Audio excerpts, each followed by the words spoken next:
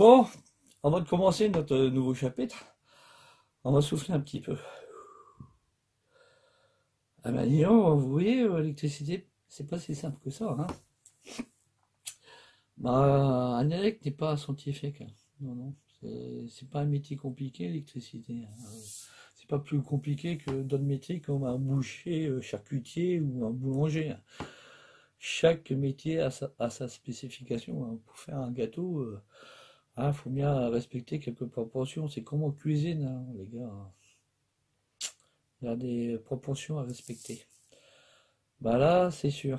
Bon, le boulanger, euh, à l'époque, au siècle dernier, même voir euh, du siècle du siècle avant, et là on va découvrir la roue.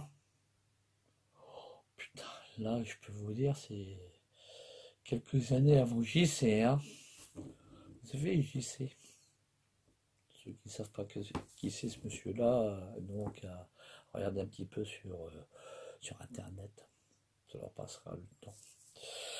Ah, sinon, je vous ferai une petite vidéo sur JC.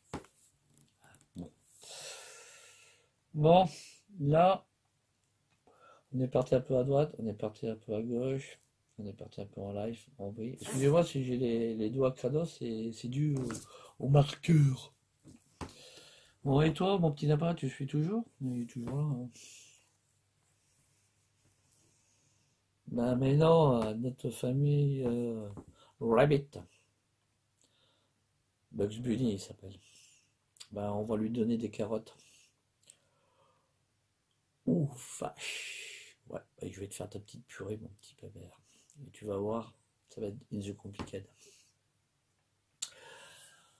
Bon, pour les gros cerveaux intelligents là, que vous êtes là, bon, j'espère qu'il y en a certains qui m'ont suivi. Bon, ça, euh, ils, me laisseront des comme ça c'est sûr. Alors, on va parler, on va revenir sur un autre principe d'une autre formule que je vous ai parlé un petit peu. peu. Bah, tout ça et tout ceci, il nous faut aussi une force. Bah, il faut quand même lancer la, mécanique. Hein. Parce que ça se fait pas comme ça.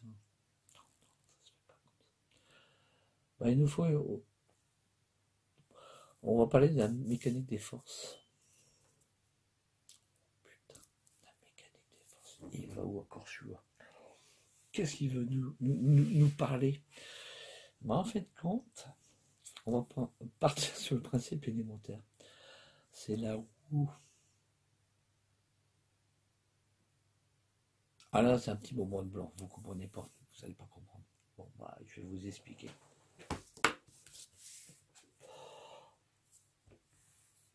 Comme disait notre pote Newton, Isaac, de son prénom, je sais même plus ce qu'il nous disait ce connard. Pour chaque action, il existe une réaction égale et opposée. Bah, nous, on est là qu'on dit action-réaction. Ah oui. 0 ou 1. Bon, le principe de la roue. Bon. Vous connaissez de Don Quichotte Celui qui se bâtit toujours avec les moulins avant. Ah Ouais, bon. Bah, meunier, meunier. Hein, bon. Les meuniers, ils n'avaient pas que des moulins avant. Hein. Il y avait aussi le moulin à eau. Sur ta roue, imagine que tu as des palmes.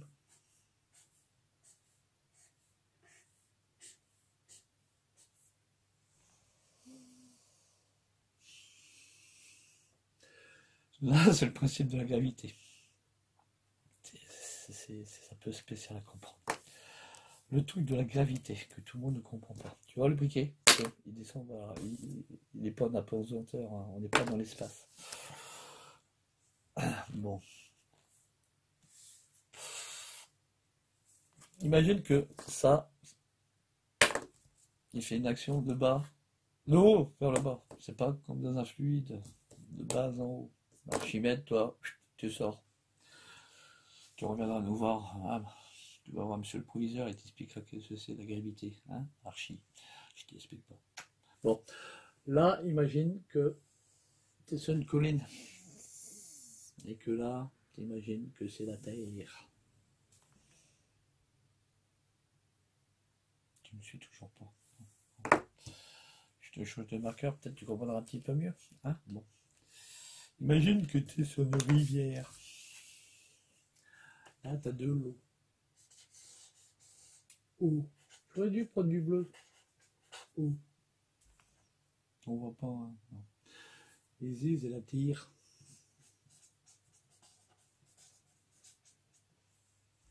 Si tu mets ton eau, ça va faire? Elle va tomber comme ça. Comme le briquet. Donc, il se fait attirer. Il faut savoir que la Terre, c'est aussi un aimant.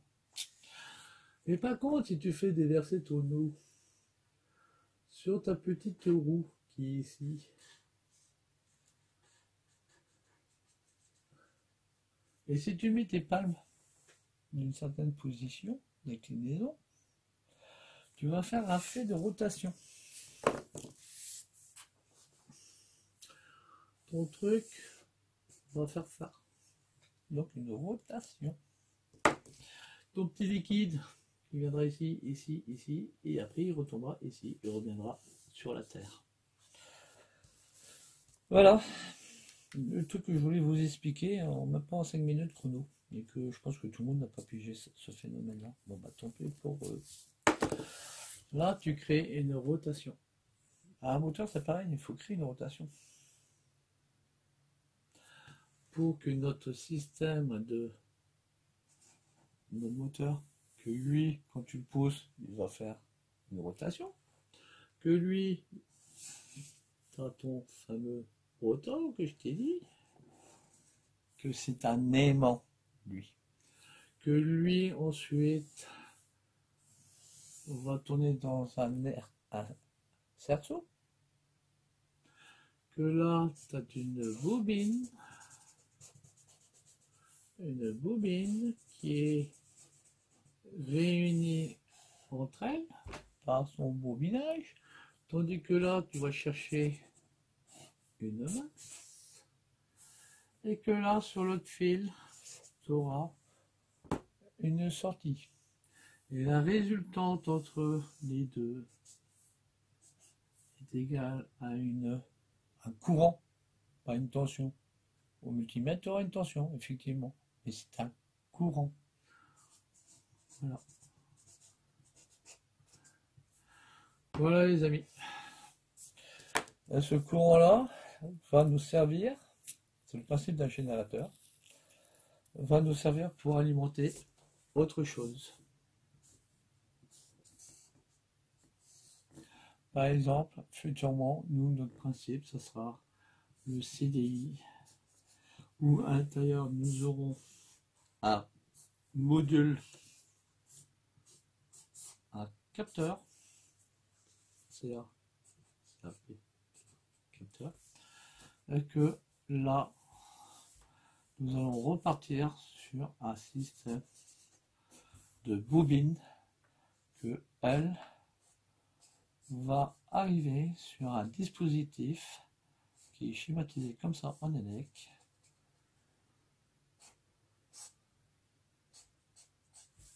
Et ici, ça sera notre bougie.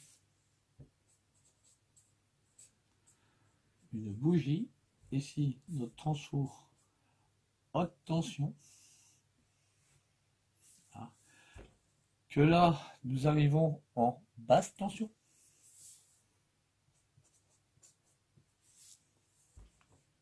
Ça, c'est notre bobine haute tension pour notre bougie. Bougie qui est symbolisée comme ça, les gars. Et notre bougie, évidemment, qui est reliée à la masse. Ok ah, Tout le monde ne comprend pas ça. Bah là, notre système d'allumage, comme je vous ai dit, c'est un générateur de courant qui va arriver dans un boîtier qui s'appelle un CDI. Ok Que ce CDI-là va donner du courant ici, mais que celui-ci aura l'ordre de donner du courant par le système de cap. Le cap étant notre capteur. Précédemment, sur les allumages, comme on dit au siècle dernier, nous avions des vis platinées. Donc c'est un système mécanique. C'est un contact, en fin de compte, un contact sec qui nous donnait cette résultante. Et ensuite, au fil des années, je vous ai balancé tiens, les, vidéos de chez Citron sur l'allumage électronique intégral. C'était autre chose. Ok. Bah, là aussi des allumages qui fonctionnent par des systèmes de capteurs électroniques. Donc euh, les systèmes à effet Hall. Que peut-être qu'on va développer euh, ce principe-là pour notre allumage électronique. Un allumage à effet Hall.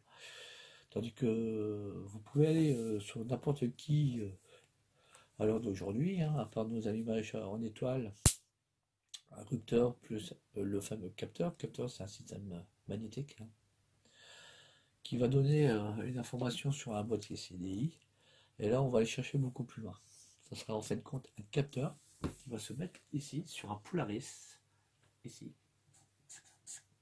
là, qui va choper le captage magnétique qui sera ici. Voilà. Et en fonction de ça, lui, notre capteur à effet c'est comme le même principe d'un interrupteur. Vous savez, dans les visiteurs, ils jacouillent, la fripouille, jour, nuit, jour, nuit, il actionne quelque chose. Ben là, ça sera ça. Ça, c'est nos vis platinées qui a été remplacé par les capteurs, le capteur qui a été remplacé ensuite par un petit composant électronique qu'ils appellent le capteur Hall. Ben, nous, on va créer ce système-là futurement. Ok? Là, au niveau de notre bobine, on va parler un petit peu ensuite euh, euh, le principe de la bougie. Ça sera notre euh, cours. Comment fonctionne exactement une bougie? Voilà. Donc ça sera sera aussi un autre sujet. Ok? Là, c'est le principe que je vous ai expliqué. Comment fabriquer notre courant? Comment avoir notre courant? Comment capter notre courant? Et sachant que le capteur donne un ordre à quelqu'un pour libérer autre chose. Donc un courant qui sera libéré ici. Et que ce courant-là va être retransformé pour nous donner notre courant à notre bougie. Il faut savoir que ici, que futurement, je vais vous expliquer le principe, que ici, notre système de générateur, notre génératrice, nous fournit une certaine courant que cette tension-là, qu'on va essayer, comme vous, si vous avez vu précédemment euh, mes cours, euh, dans d'autres vidéos, qui ici, sur l'allumage chinois, nous partons sur des résultantes des zéros de plus ou moins. C'est pas ça qu'il faudrait que j'écrive. Ah, c'est une tension plus ou moins de 0 à 20 volts. Sachant que plus ça va vite, plus ici on aura une grandeur de tension, on va dépasser, on va arriver sur des, des 30, 40, 50, et là ça sera pas bon. Donc il va falloir qu'on bride de cette tension par un système électronique ici qui s'appellera un régulateur de tension.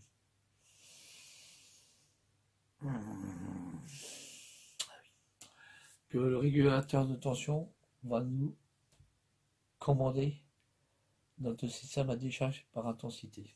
I-intensité. Ok.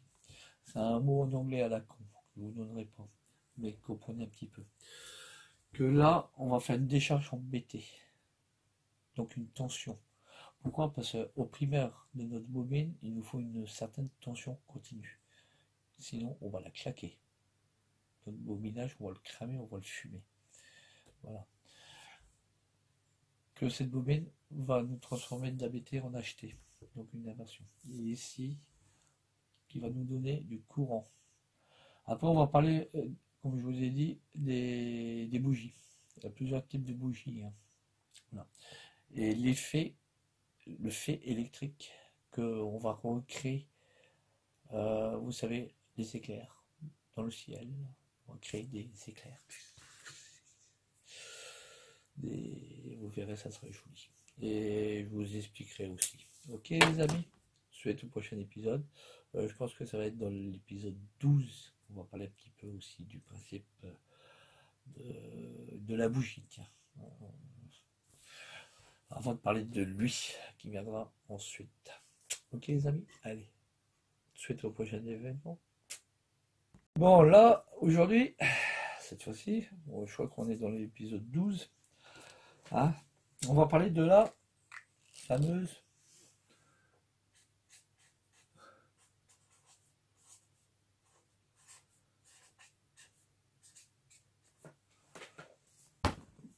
T'as vu Bougie.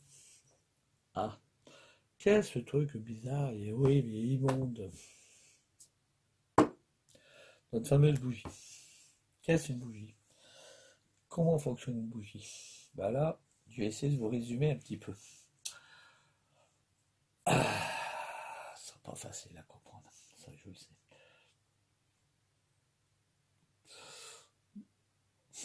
Putain, c'est con.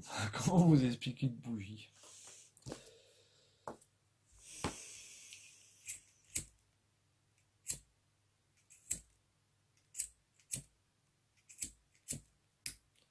C'est ça une bougie. Et on va voir qu'est-ce qu'elle doit faire aussi bougie. Ah. Le principe de votre moteur et votre carburation. Je vous ai expliqué sur une de mes vidéos comment fonctionnait un carbu. Vous savez, le fait.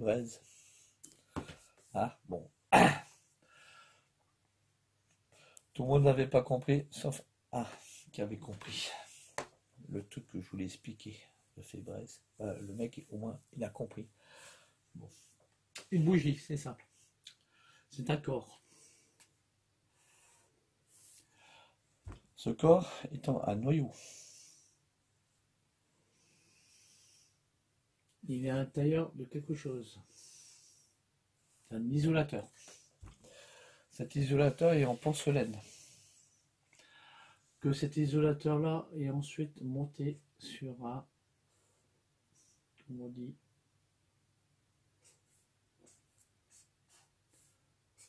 culot. Et sur ce culot il y a un filetage. Ce filetage là qui se vise sur votre tête de, culasse. Ça c'est métallique donc une masse. Vous avez un isolateur donc la porcelaine et vous avez votre fameuse âme, ça s'appelle une âme, ici. Il existe deux types de bougies. Quand vous lisez une bougie, par exemple, on va lire un codicile de bougie de chez euh, NGK. Je ne vais pas vous parler de la bougie Bosch, ni la bougie Marshall, ni la bougie Champion. Je vais vous parler d'un codicile simple de bougie. Quand on vous dit des H5 non, faux. Une B5HS. Voilà. Ici, le premier code.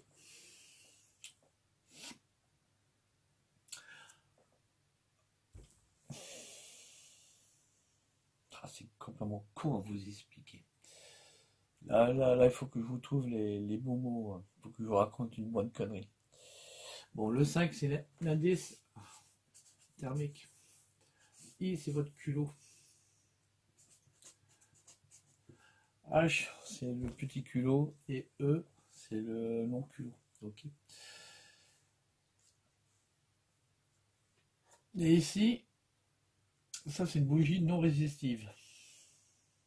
Waouh. Ah vous savez que ici, vous avez un dispositif que vous mettez. C'est votre antiparasite. Certains antiparasites à l'intérieur sont résistifs. Il y a une résistance ici, qui est de 5 kOhm. Si vous avez un antiparasite déjà de 5 kOhm, ne mettez pas une bougie résistive. Non. Parce que vous avez un problème d'allumage. Ah parce que ça va vous absorber une, intensité. Ok Tandis que là aussi des bougies, donc du type BR, que à l'intérieur vous avez déjà une résistance est équivalent à 5 kOhm. Et attention, ça c'est sur les, configurations type BR et B nos mobilettes. Il existe aussi d'autres R, donc en résistivité, qui peut aller à 10 kg, hein, et voire d'autres aussi. Ok. Donc, quand c'est marqué comme ça, donc, comme je vous ai dit, 5, c'est notre indice thermique de notre bougie. Donc là, indice 5, vous savez très bien que c'est une indice chaude, 9 étant une indice froide. Mais pour le bon fonctionnement de, notre bougie, il faut peut-être savoir qu'il lui faut aussi une certaine température. Ok? La, bougie, en principe de fonctionnement, il lui faut une température pour qu'elle fonctionne correctement. Ces températures-là sont généralement entre 300 et, de mémoire, c'est 850. Voilà. 850 degrés. Celsius, hein. Degrés Celsius, pas Fahrenheit. Hein. Ok Celsius. Ça, c'est le bon fonctionnement pour qu'elle laisse passer son courant normalement. Et qu'il faut savoir qu'ici, à chaque fois que vous avez un éclatement, ici, dans votre chambre de combustion, elle va faire de la calimine, donc un dépôt. En fin de compte, c'est pas votre essence qui va caliminer, c'est votre huile que vous utilisez. Vous savez le pourcentage d'huile que vous utilisez. Que c'est un corps gras. Et que là, ça va faire une, espèce de suyure. Ah, si vous avez un bon allumage, vous verrez très bien que votre bougie doit être de couleur euh, rouge brique. Ça peut être du rouge brique du marron chocolat. Voilà. Si vous avez quelque chose de couleur gris et blanchâtre, ça veut dire que vous êtes trop pauvre en richesse de votre carburation. Et inversement, si ça devient noir, gris sombre noir, ça veut dire que vous êtes trop riche. Donc il faudrait éliminer un petit peu. Ça, c'est des variantes de réglage du gicteur sur vos carburateurs. Mais tout ceci, comme je vous ai dit, le bon fonctionnement de votre bougie a besoin d'une certaine tension. Alors, une certaine température hein, pour faire son auto-nettoyage et le bon fonctionnement. Il faut se dire que votre bougie, on symbole decks, on représente comme ça.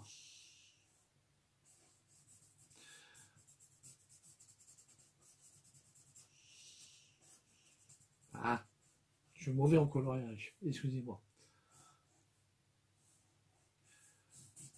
En fait, c'est deux, deux électrodes. Regardez bien comment. Ça, c'est le symbole ELEC. Regardez bien votre bougie, comment elle est constituée. Voilà, elle est constituée comme ça. ici, on va engendrer un arc électrique. Là. Cet arc électrique, euh, Tesla ne l'a pas découvert, non, c'était découvert bien avant. Ça s'appelle une iophilisation.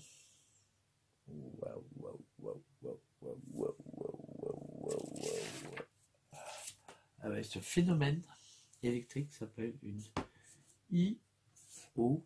Putain, comment ça s'écrit déjà?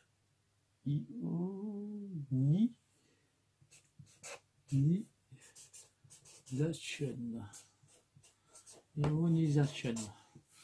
Moi, je sais pas si l'orthographe est correcte. Sais pas. Vous me le direz c'est une, un courant haute tension parce que ici, là, ça vient d'une bobine haute tension. En fonction de la tension qui sort de, cette bobine, il y a plusieurs bobinages. Donc, on a des bobines à 20 kV, 40 kV, 60 kV. Ok. Les moyennes euh, sur les anciens allumages de, de cyclo, euh, dans le temps, c'était du 20 kg. Ça, c'était plutôt euh, ce qu'on utilisait dans des allumages à rupteur. Quand les allumages électroniques sont arrivés, donc de 6 volts, on est passé à 12 volts, on est passé sur des bobinages qui sortaient du 40 000 volts. 60 000 volts en cyclo, il n'y en a pas. Euh, on peut les utiliser pour des applications de, moteur hein, aussi. Hein. donc euh, ne vous inquiétez pas, ça existe. Mais euh, c'est un peu puissant. Donc ça passe évidemment de notre bougie, notre bougie qui est quand même une résistance. et qu'on peut mettre aussi une résistance capacitive à l'intérieur en plus, que là, ça va nous donner une résultante, donc une ionisation. Voilà. Et que cet arc-là va ensuite enflammer, évidemment, va enflammer notre carburant. En fait, quand c'est plus un carburant qu'on a, c'est plus un solide, c'est un gaz. Ça va nous faire une, propagation de front de flamme. Voilà, le front de flamme. Et en fonction de ça, ça va nous faire une force mécanique. Là, il va falloir que je vous fasse aussi un autre cours ensuite, c'est sur euh, la mécanique. Qu'est-ce un moteur de temps et un moteur 4 temps Mais là, je pense pas que ça rentre dans notre cursus euh, de faculté euh, de scientifique pour faire notre master chef. Ok? Voilà, ça c'est après c'est notre principe de fonctionnement. Que d'autres ingénieurs sur YouTube vous expliqueront comment ça fonctionne. Ok? Par contre ici, vous savez qu'on a un écartement sur l'électrode. Certains disent Ah, les c'est Non, c'est pas ta carburation, espèce d'abruti. Et je dis bien espèce d'abruti. Parce qu'on contrôle toujours ton écartement. Parce que chaque bougie a un indice d'écartement. Ah oui, il faut le savoir. Si ta bougie est prévue pour fonctionner avec un écartement de 0,4, ça sera 0,4. Si elle est prévue pour fonctionner à du 0,5, ça sera 0,5. Et 0,6, c'est 0,6. Euh, si tu t'amuses à prendre une 0,4 et que tu veux l'agrandir un peu plus, bon, imagine que tu as un moteur qui fonctionne correctement avec un indice d'écartement de 0,4. Imagine, tu veux foutre ton chou de cal, tu la passes à 0,5. Bah, tu verras les résultats. Ça va merder. Et à 0,6, tu n'auras plus rien. Ah, je comprends pas, c'est mon Non, espèce d'âne. C'est peut-être ton électrode qui est mal réglé sur ta bougie ou tu utilises une bougie de merde. Voilà, l'un ou l'autre. À faire classer, non, c'est comme ça. Et venez pas me prendre la tête, ok? Ça, c'est la base fondamentale, hein, une bougie. Et là, je vous ai expliqué le principe de fonctionnement. C'est comme les indices thermiques de vos bougies. Ça ne marche pas, ça vient mon carburateur. Non, ça ne vient pas à de ton carburateur. Tu as des moteurs qui marcheront très très bien avec une indice thermique, par exemple, en 0,5. Et dès lors que tu commenceras à monter sur les indices froids, ton moteur, il va plus rien foutre. Comment pas être calme Bah oui, bah du coup. Comment pas, je mets 3 heures pour pousser Bah ouais, parce que tu as utilisé peut-être une indice beaucoup trop froide. Il faut peut-être savoir que il faut qu'elle monte en température. Et en fonction de ton calage de l'image, tout ça, il faut qu'elle tourne correctement. Voilà. Si tu dérives sur ton indice d'écartement d'électrode, tu vas engendrer quelque chose. Si tu augmentes l'indice thermique de ta bougie, tu vas engendrer aussi quelque chose. Ok? Et là, tu peux tomber sur des dérèglements. Bah, tu as des moteurs qui marcheront très bien avec une indice thermique de bougie. Je sais pas, je te dis 7. Et dès que le jour que tu passeras sur un indice 9, tu verras la couleur de ta bougie, elle sera noire. Et inversement, si tu as une belle couleur à une indice 7 et si tu passes sur un indice 5, tu verras que ta bougie elle sera aussi un peu plus claire. Donc, c'est une cause à effet. Voilà. Donc, qu'il faut connaître et qu'il faut savoir. Et que tout le monde ne sait pas et qui ne comprend pas dans leur tête. Ok Bon, sur ce, je pense que je vous ai résumé plus ou moins le principe de fonctionnement d'une bougie. Hein bon, c'est pas trop con. Hein et sur le prochain chapitre, le numéro 13, celui qui porte bonheur, ah, bon, on vous expliquera un petit peu le principe du fonctionnement d'un allumage. Ok les amis? Allez, à plus. Prochain, suite au prochain épisode. Hein